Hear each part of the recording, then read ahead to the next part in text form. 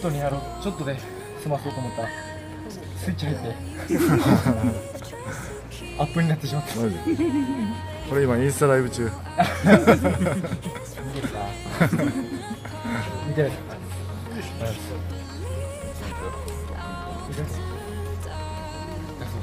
いい感じ出そう。です、もう。普通に汗かいてるし僕アップ3回ぐらい分けるんですよ一回も終わりです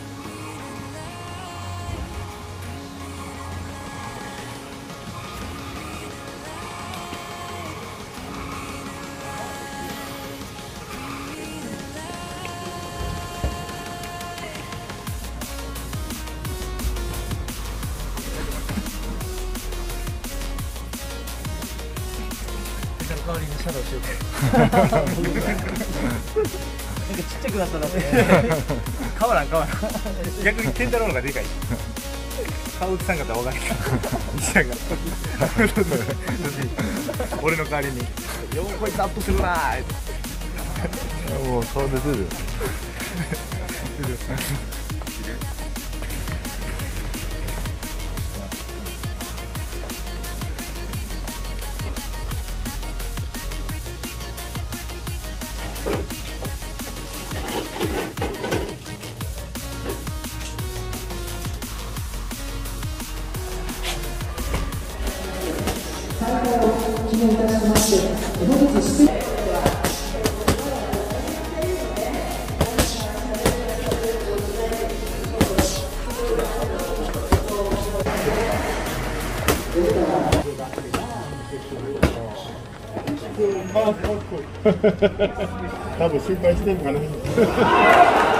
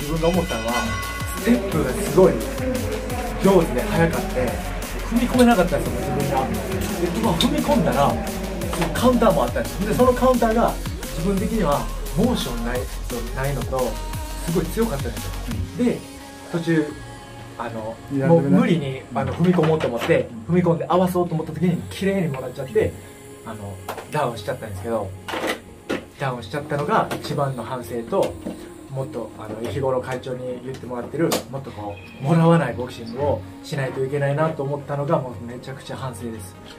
良かったとこは逆転しできたこと。それだけですね。亜生君のようなすごいこう距離の遠い選手と経験できたのが良かったです。